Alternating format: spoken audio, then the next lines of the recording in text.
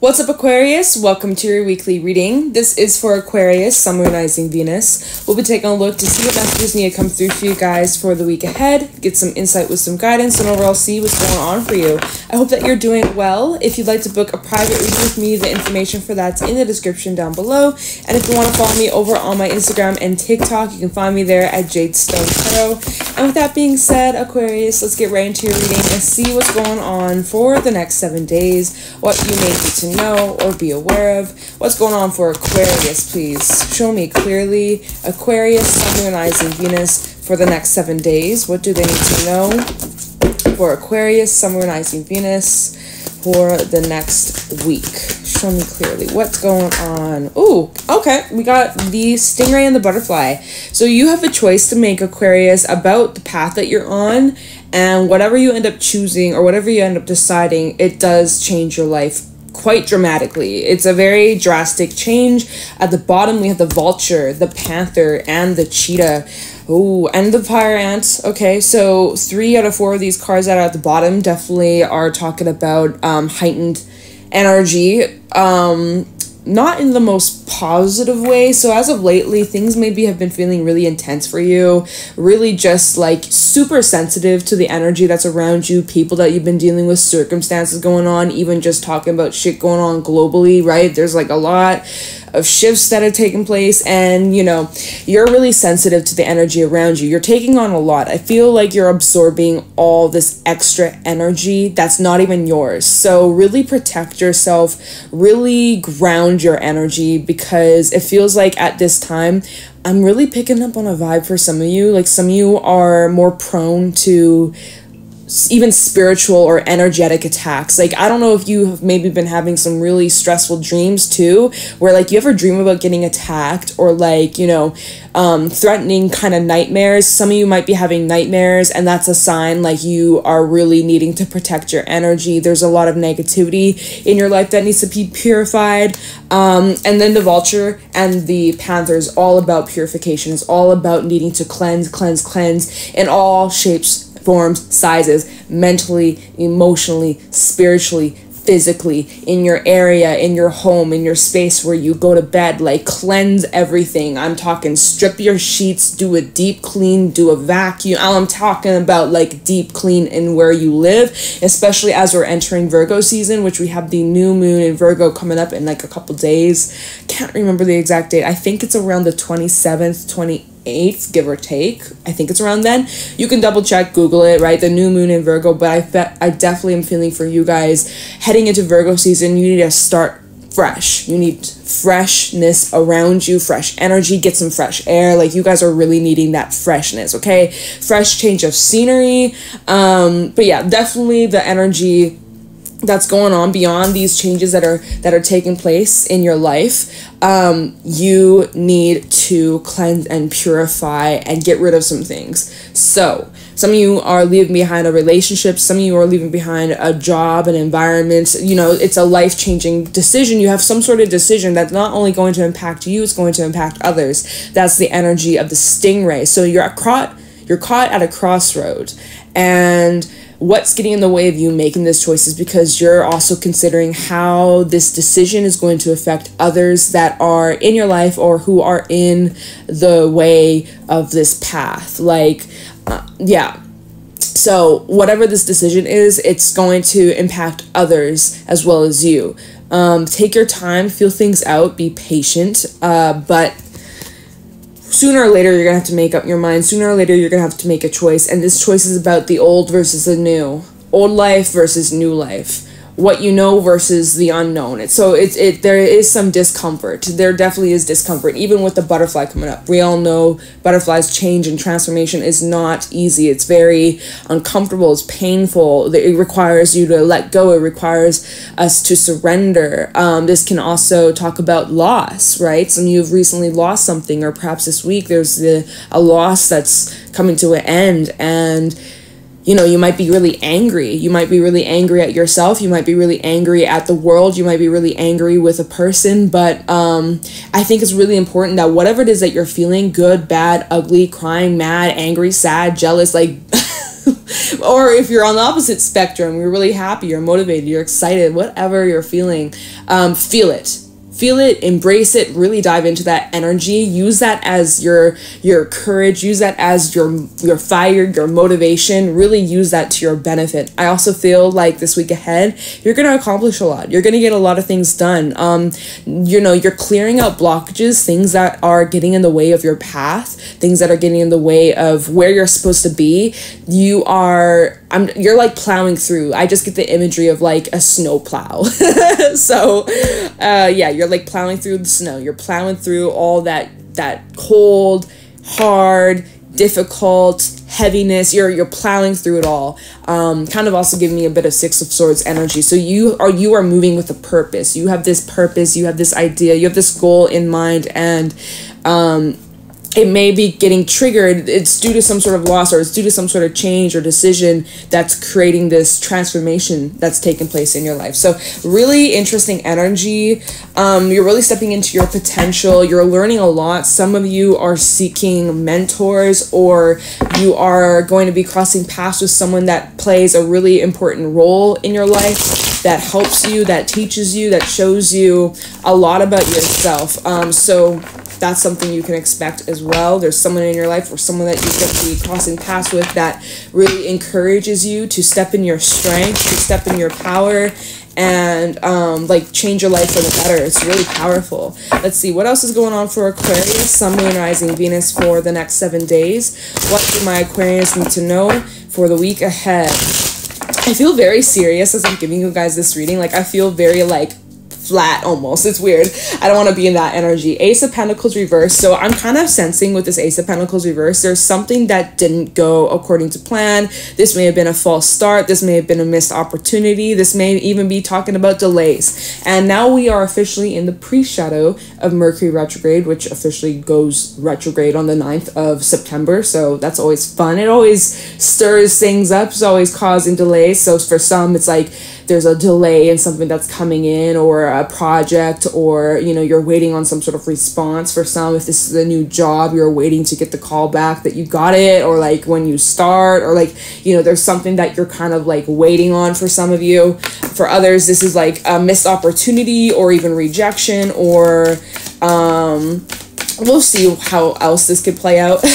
We need more cards of course. We have the nine of cups. So there's there's a false there was a false start or there was some sort of disappointment. There's something that you really thought was taken off the ground or you got really excited, you got really hyped, and then for some reason we have the Ace of Pentacles coming out reverse. Um, we have the Hermit, Knight of Swords come out. Anything else for Aquarius for the week ahead? Five of Swords. And is there anything else for Aquarius? I guess you guys are getting extras today. Hangman. Yeah. Um, three of cups, seven of wands, nine of wands, and strength at the bottom of the deck, and even the world. So I do see that some sort of cycle is reaching completion. It's requiring, ooh, it's requiring a lot of strength, a lot of determination to not quit, to not give up, even when times feel really challenging. And I'm also picking up on a separate message here with the three of cups to the seven of wands. Some of you in your current environments, friendships, relationships, workplace, you feel like you're the odd man out. You feel like you're an outcast typical. Oh, you know, people, the stereotype of Aquarians is like, you guys are the outcasts. You guys are the weirdos. It's like, no, you're fucking not, right? You're not. But like, I I swear I've heard I've heard a couple people be like, oh my god, Aquarians. Like, what the? you know, it's stereotypical. It's just like someone calling a Cancerian, which I'm a Cancer. Every Cancer is a crybaby. It's like, no, that's not true shut the fuck up. like, you know, you don't know what you're talking about. Um, no, but some of you feel like you're an outcast, or some of you are feeling like you're not really belonging with your current relationships or friendships. You're kind of feeling like you you don't really belong, you don't really fit in, or even if you are kind of close with these people, you there's still part of you that feels like they don't really understand you, or they don't quite get you, or they don't um you know you can't fully be yourself around them almost like you're wearing a bit of a mask or watering yourself down which you should not be doing. And if that's the case spirit's really coming through for whoever that message is for. It's like if you have been watering yourself down in any way shape or form um, not allowing yourself to really step into your potential the energy of the snake underneath all these cards of the animal deck then that needs to be let go of. That needs to be gone be gone be gone okay because it's almost like you've been limiting yourself or restricting yourself or holding yourself back from actually being free and having fun and enjoying life. Like you've been putting yourself like in a box. And it's time to break out of that box. It's time to push through that and I feel like in a way with this Ace of Pentacles reverse, this could even be talking about self-sabotage where maybe you're getting in your own way, you're getting in your head, you're getting in your success or getting in the way of your success or, you know, success in any anything, personal goals, money, relationships, whatever. Like purposely, not even no, not purposely wrong words not purpose. It's opposite. It's not even on purpose. It's just like a subconscious thing that you might struggle with where you may feel like you don't deserve it or like whatever like whatever it is that you're telling yourself. Some of you are just like getting in your own way, getting in your own head, and basically shutting yourself down before others may reject you. So it's like you reject yourself first as like a defense mechanism so that you don't get hurt, right? Because you're so used to getting excited and getting hyped up and looking forward to something just for it to fall through or not happen or leave you feeling disappointed or, you know, expectations versus reality. you know, like we all been there, right? You order something online, expectation versus reality is like, wow.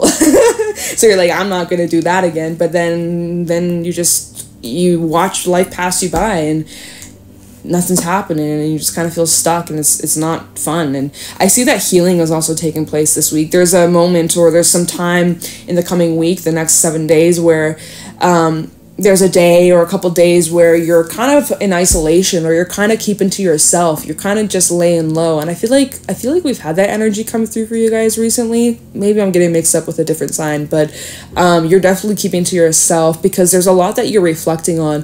It, it appears here that you're reflecting on a situation between like a like you, other people, a situation where you were hurt, a situation where you felt misunderstood or ganged up on. Like some of you feel like you are being ganged up on. Like seriously, I am picking up on an energy, a serious, serious group I'm picking up on where this is involving the people that you surround yourself with, your friendship circle, family, work related, I don't care, but the people that are closest in your circle. Um, I feel like as of recently or the next couple of days, um, you're you're experiencing some sort of hurt in relation to that, like judged or like maybe someone hurt your feelings or said something really rude to you or offended you and when you went to express how you felt they shut you down and told you that you're too sensitive and that you need to get over it and like they didn't apologize or something like that perhaps and you now you feel like you don't belong you feel like you're pushed away or you're being shunned or ignored like that's the feeling like literally with the hermit coming out too i just am picking up on like you feel like an outcast or you feel like people are pushing you away or judging you in some sort of way and that's that is such crap. That is such crap. And so as you're kind of like reflecting on this hermit and the hangman right you're like well how can i view this from a different perspective? Why is this happening here? Um, it's because you know i think you're realizing that you need a change in your relationships. You're happy on your own. Look at this Nine of Cups. You're really fulfilled on your own. You love yourself. You're working on that self love, self care, um, independently. When you're alone, you really enjoy your own company. I'm really picking up on that energy coming through for you guys. Is that you enjoy alone time. And if not, if you struggle with that, Spirit is really asking you to prioritize alone time and getting more comfortable with your own energy. Because if you don't like your own energy, Aquarius, let's be real here. If you don't like your own energy, oh my God, this might come across harsh. If you don't like your own energy, well then how can you expect other people to like your own if you don't like your own presence if you don't like spending time with yourself then how could you think other people would like to be around you? I'm just saying okay? So some of you need to some of you need to hear that. I'm sorry if that came across harsh but like i'm gonna just say it how i feel it and that's just straight up. Like it's a lesson a lot of us have to learn. If you don't like your energy if you don't like yourself like like that's a big issue here. And like some of you are aware they're like i know i'm trying i'm working on it. It's like i get it. And it's a process that you got to be patient with yourself on.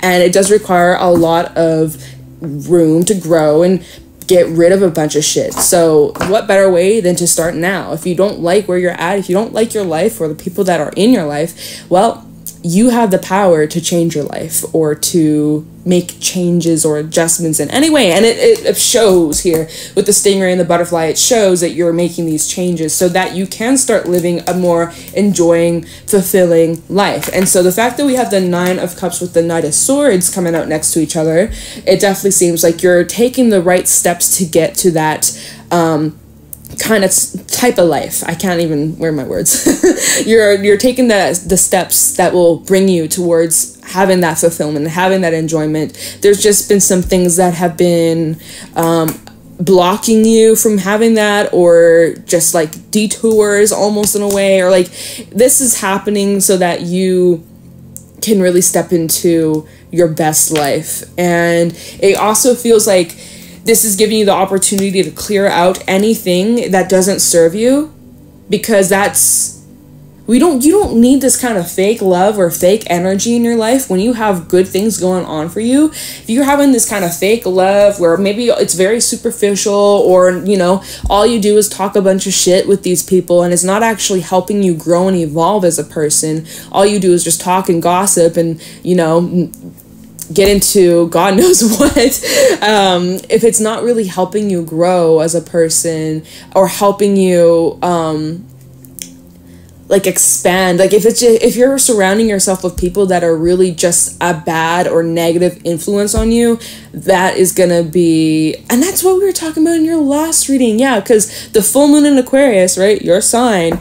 Um, really was highlighting our communities and really highlighting the people our the people we surround ourselves with especially friendships um, and knowing your worth in your friendships. We always say oh know your worth know your worth know your value but most people take that in love. But you have to apply that to all your relationships know your worth because friends are friends are types of relationships too and they can they can cause a lot of that shit in your life as well. As not just romance you know? So just keep that in mind. And i do feel like there's multiple people that this this message is resonating about like multiple people in your life that you know you probably should like not really hang around with or you know they're not really the best of friend or you know that they don't there it's a fake kind of love or it's very and nothing wrong with surface level friendships right? There's all types of friendships. Not everybody's gonna be that deep dive and like you know for sure. Like we gotta have a mix. We gotta have a variety. There's many different relationships out there, but like um